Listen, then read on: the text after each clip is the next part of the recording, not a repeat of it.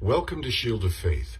I'm Armin Sommer, Senior Pastor of Grace Church on the Mount in Netcong and Randolph, New Jersey. A verse I'd like to share with you today is from Psalm 91 from the Passion Translation, and it's verses 14 and 15. It says, Because you have delighted in me as my great lover, I will greatly protect you. I will set you in a high place, safe and secure before my face.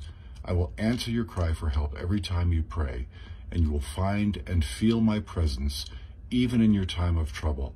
I will be your glorious hero and give you a feast. So look to the Lord as your hero today.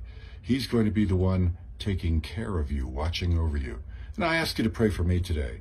Uh, I'm beginning a 2,000 mile road trip to drive with one of my daughters and three of her kids back to the Northeast where they're moving. And I covet your prayers. So thank you for joining me on Shield of Faith. You have a blessed day in the Lord.